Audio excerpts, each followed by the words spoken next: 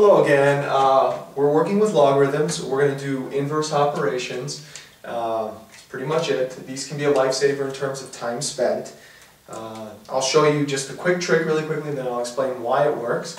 Uh, because I know there's people saying, ah, yeah, I, I, I, I see it, but I don't believe it, all that good stuff. And I'll show you with this one. This one looks more difficult, but eh, it's really not. Okay, so um, if you see a log of a base, and its uh, base of that problem is the same as the log of the base, they cancel out. And you're left with 8. Uh, some people are saying, well, uh, okay, uh, explain that to me again because I didn't understand it. Okay, I'll show you. Log base 6 of 6 to the power of 8 equals y. It's our variable that it's equal to.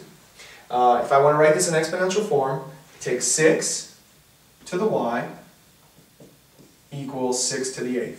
Well, what's going to make y equivalent to this? 6 to what equals 6 to the 8th? y equals 8. Okay.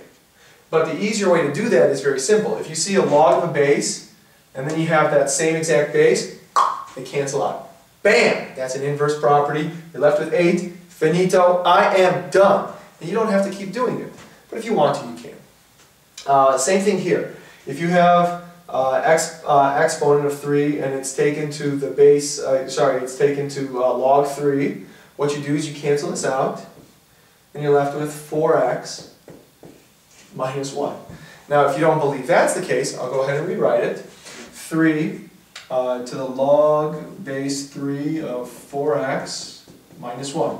Now what we do is we suppose it equals y, so we'll go ahead and do that.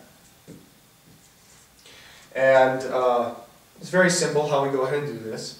If we want to write this in logarithmic form, it's log of 3 y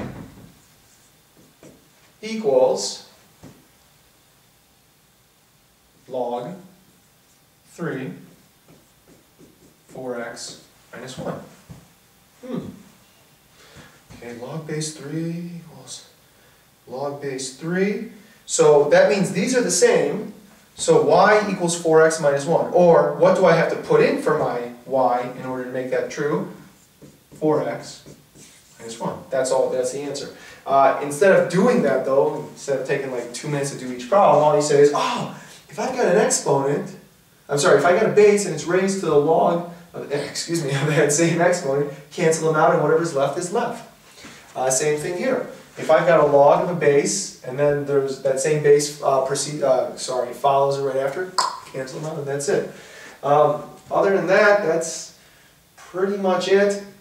There is actually another way to do this in terms of, uh, well, I, I, don't want to do that right now because that's a, a, little bit more complicated. I'll show later on.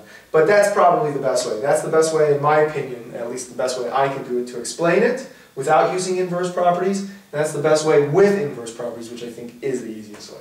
Uh, I hope that helps. Other than that, have a great day. Goodbye.